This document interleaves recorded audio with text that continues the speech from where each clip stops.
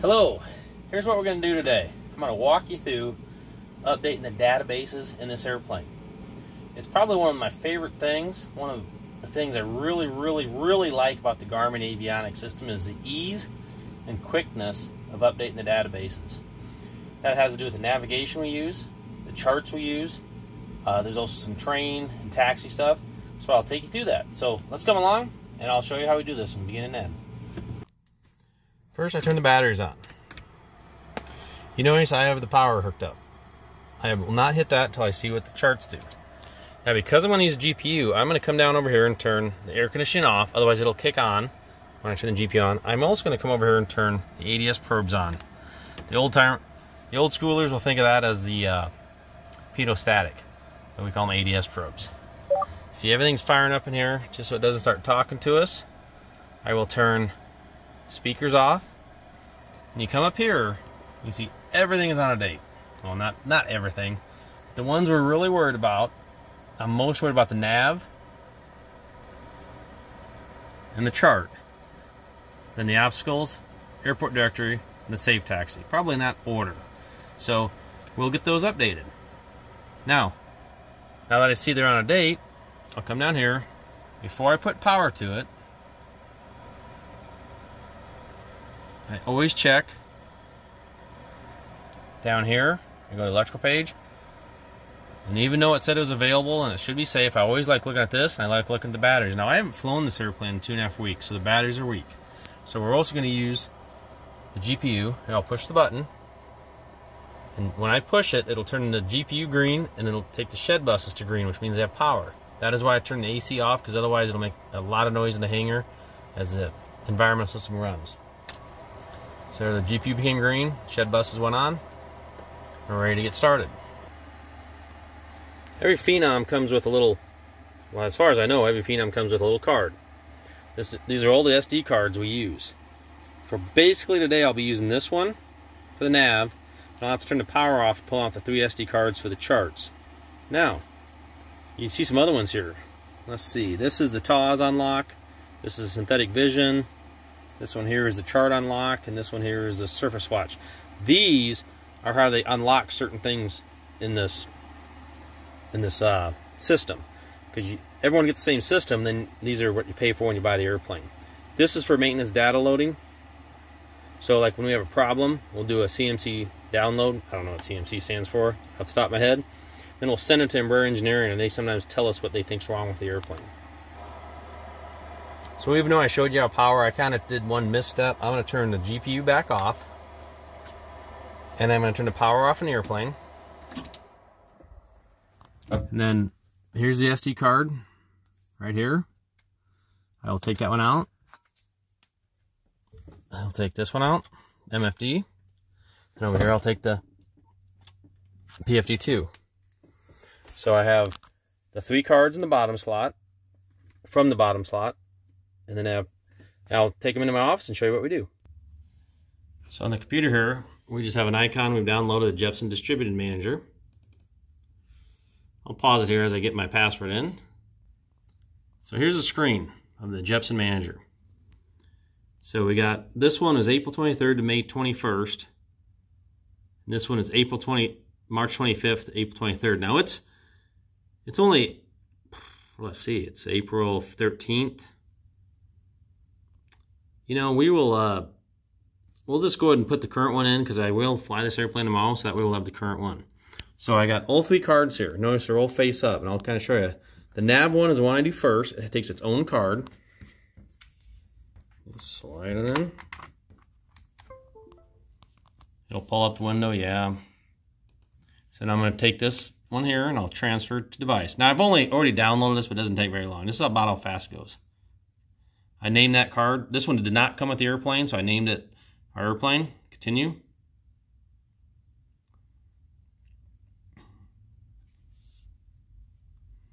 It's done transferring that SD card. So I'm going to go ahead and close that. And then click eject device. That SD card is ready to be installed in the airplane. So I always take this card I set it upside down here. That means done. These have to do. Here's PFD1. Notice these are labeled real small, PFD1. I just go in order. Okay, the SD card's in. Again, it's a little slightly different. I'm gonna come down, I'm gonna do like, and what I think is important first. Electronic charts. Those are issued April 3rd. They don't really have a true, ex they have an expiration date, but they don't put it on there. So transfer device. I won't do this whole one. I'm gonna put in a Garmin E, yep. Continue. Now this one is the longest one, so I won't bore you waiting for it to download because it's got 336 megabytes, done about 35, so it's it's over. It'll take a while, but I'll just pause.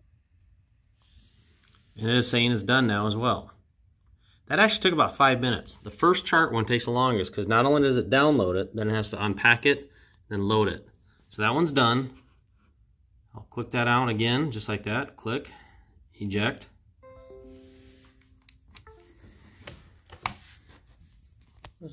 I should have set my camera down, propped it up.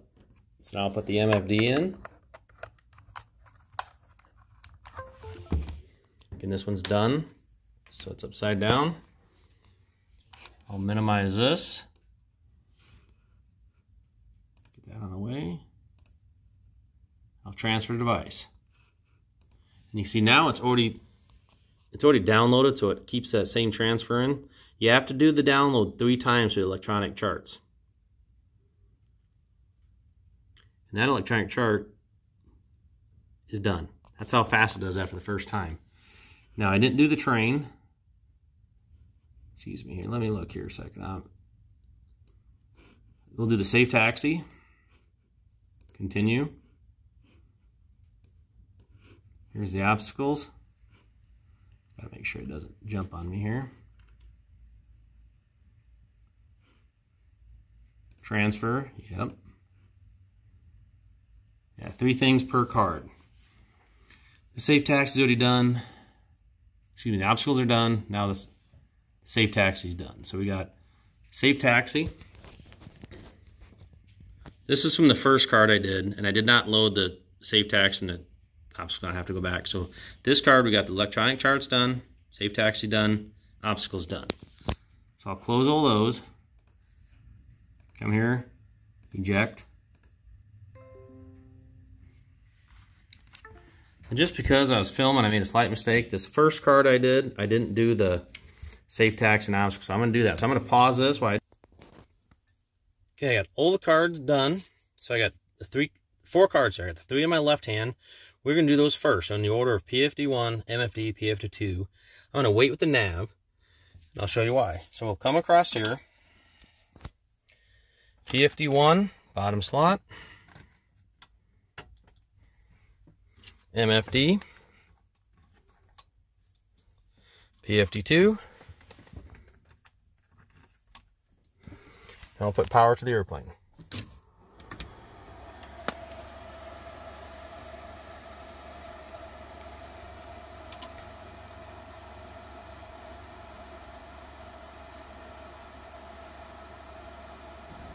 This is what it says. It's talking about initializing all this different stuff. Continue. You can hit a key if you want it to go faster. And I do like to come down here and turn off the speaker. And when you're updating, it does a lot of weird things. You'll get some X's here and there. Notice here it's saying a few different things. Saying verify an obstacle, verifying chart, verifying safe taxi. We don't do the airport directory, so that always is expired. I have not put the navigation in, so it's showing expired. So that's good. Everything's just like normal. You can even come down here, go to utilities, setup, database status. This will show you what's expired and what's not. So, and it's verifying, it'll have to verify these before you use them. I'm going to go and pull this up.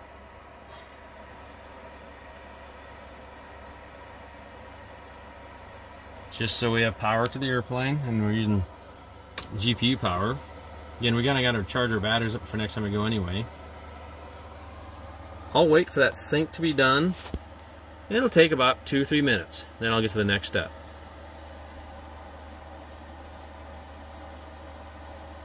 You're just waiting. There, it's overall 100% progress. I'm sorry it's not focusing too well. I'm trying to get it. Now it says sync complete, and here's an important one. Data sync complete, on ground power cycle required. Pretty common. Now here's where it gets a little interesting. I can either turn the power off in the airplane, but we're not to do that quite yet. We're going to come down here. I'm to turn a light on. Here it says PFD1 circuit breaker. I'm to pull that. Boom, that, that just went out. Then I take nav, top slot, in. Now hit, and this is why I turn the speaker off. See how it does funny stuff? You can start getting some X's and all sorts of interesting stuff. I'm gonna turn the light back off so you can see a little better. It'll do some funny things, give you some interesting message, but now I'll push that circuit breaker in. This will come back up. Sorry about my reflection there.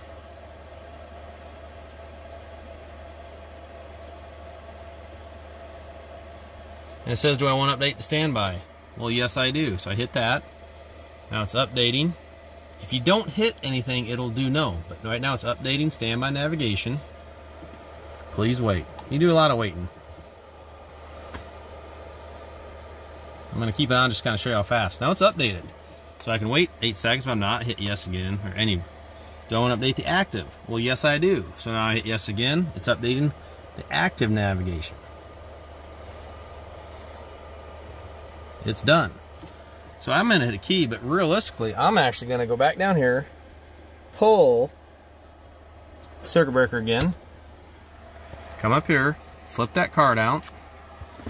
I got to pull that one, PFD2. There it is. It's off, put the card in, circuit breaker in. I'll go ahead and hit this circuit breaker while I'm at it. Now this will come up, and I'll do the same thing here. We got, and then we got to do it the MFD.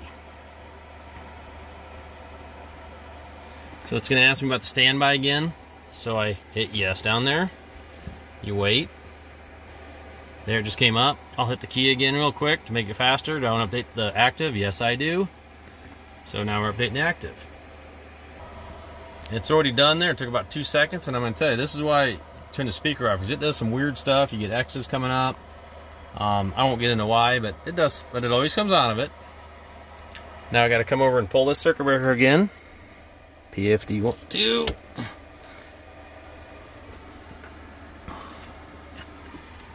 Then, this time, I am going to actually turn the power off. Push that circuit breaker in. It says I can pull the two circuit breakers for the MFD. The MFD is fed from both sides, left and right. I'll put this in. Power up. Uh, speaker's back on. This one doesn't say stay where you left it. For, and then this is going to ask you, charts will be verified before you use. This is what it'll say when every time you fire it back up. So yes, I'm activate. Sorry, I came up and hit yes, or I so I'm so used to doing. It, I went and hit yes before I say anything. But I'm hitting these buttons down here. Pause system failure. That's a normal CAS message because we got different databases in here, and if things don't match across the airplane, you don't get certain messages. Now it's already done, so I'm gonna hit yes. I'll hit standby. I'm gonna turn, come down and turn the speaker off just so it doesn't keep chirping at me. Speaker off, speaker off, and see all those X's? Always does this kind of stuff. It is done here. So this is done, updating. Now the airplane just has to find itself. It's kind of like like after waking up from a nap. Sometimes you kind of got to think about what's going on. But I'm going to come down here, utilities, utilities, setup, setup, database, database. And it's pending to sync. It's got to sync and verify it. So it'll go through that now for a while. Notice up here, they're not in yellow anymore. Now they are. Where's the nav? Expires April 23rd. So once it's synced here, We'll have to do a ground power cycle, then it'll work just fine. The sync probably is a, what takes the longest of anything. It probably takes about five to seven minutes. So I'm going to pause it here. Well, it didn't take as long as I thought it would. They're all synced. Again, it, it will take a ground power cycle to basically find itself again, kind of reset it. And that's why these exits are still here. You cannot fly at this point. You can't start the engines to go. You got to turn the power off. I'm just going to leave it because I got a few other things I need to get done and then I'll turn the power off when I'm done with that. Because right now, I'm just going to let, while I get stuff done in the office, I'm gonna split the GPU in here because the GPU will charge the batteries in this airplane. So we'll just kind of top off the batteries and we'll fly it tomorrow. So I hope that helped you. And actually, I will tell you, when I turn the power off, I will pull that top SD card out. You do not have to have the nav SD card in. The charts do stay in. So what we'll do is we'll put the, the nav card in with all those maintenance cards and we'll keep them in the airplane. You always keep those in the airplane. In case you have a glitch where you lose your TAWs, your synthetic vision or something, you can reload them. Hope that helped. Seems a little complicated, but it's really not too bad once you do it a few times. I hope you enjoyed that video of updating the databases. It's really a little simpler than it sounded. It seems like I can't talk fast enough. Now, this is the aircraft maintenance manual that Embraer gives you if you want to read something while you're doing it. It's very in-depth and you kind of should read it and break down what they're trying to do because some of the things they talk about seem a little too simple. Like they talk about all these circuit breakers and all this stuff. And I mean, it's one, two, I just lick my fingers. You're not supposed to do that anymore. One, two, it's five pages long. Oh, maybe six. It's six pages long. And it's step by step by tedious step. Then, to top on that, they got pictures of where the SD cards go. This is for the G3000. This is for the G1000. So they do have stuff, but if you ever read this, sit in the airplane and go through it once without actually doing it, and you'll see certain steps seem very rudimentary, and it's a little easier than they make it. So I hope that helps. They do have maintenance manual, and you can get that. So last thing we're gonna do today, I told you I hadn't flown the airplane for a while. We're actually gonna pull the plane forward and just get the tires on a different spot so they're not flat spotted. Because if you fly the airplane after it's been sitting for about a week, the tires will flat spot slightly. What's amazing is you'll take off and you'll feel it, you'll feel it shudder just a little bit. You feel that little thump, thump, thump, down the runway. And they don't seem to come out of it until you brake real hard and the tires get hot and more pliable. Then they get round again. So we'll actually move it today, let it sit in a different spot, and then fly it tomorrow. And then we'll just do a couple approaches, cycle the valves in normal flying, cycle the gear because we're normally flying. Then we'll go up and shoot some approaches just to get some practice in and that'll be it. So enjoy. Hope you enjoyed the video. Thanks for watching.